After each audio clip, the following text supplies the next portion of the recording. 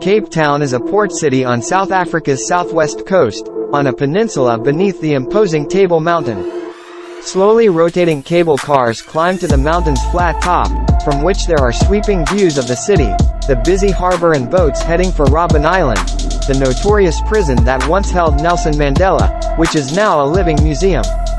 Famous for its sun, sea and scenery, Cape Town is a beloved tourist destination for visitors the world over.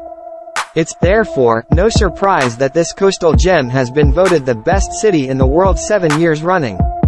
Cape Town, city and seaport, legislative capital of South Africa and capital of Western Cape Province. You should plan to spend around R $1,814, $98 per day on your vacation in Cape Town, which is the average daily price based on the expenses of other visitors. Past travelers have spent, on average, R$773, $42, on meals for one day and R317, $17, on local transportation. In Cape Town itself, the census showed that 35.7% spoke Afrikaans, 29.8% Xhosa and 28.4% English as their first language.